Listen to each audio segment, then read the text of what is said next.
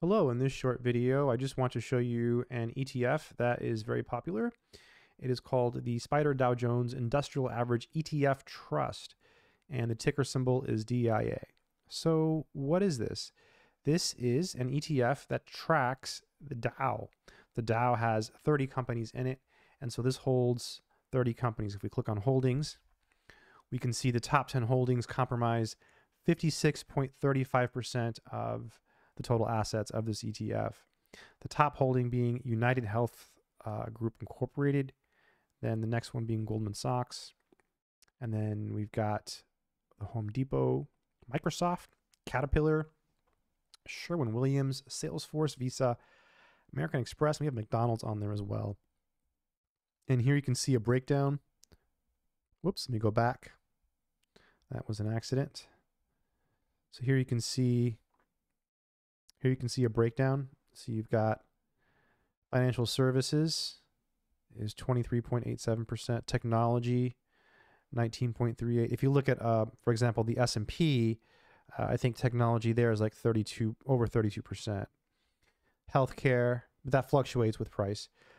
15.74%. I think on the S&P it's about 10.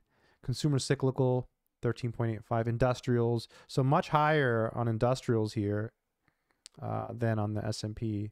Basic materials, consumer defensive, energy.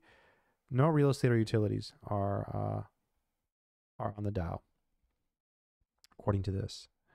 So, and the really interesting thing about this ETF, what makes this so different from other ETFs out there, is that it pays a monthly dividend. So if you go to historical data or data, and we click on dividends only right here, you can you can see the dividends on Yahoo. And look, I think I think these are the pay dates.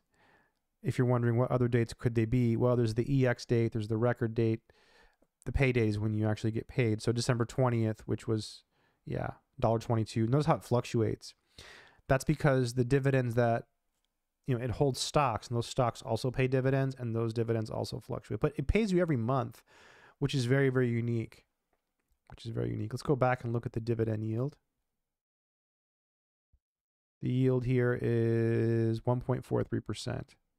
Okay. Yeah. Cool.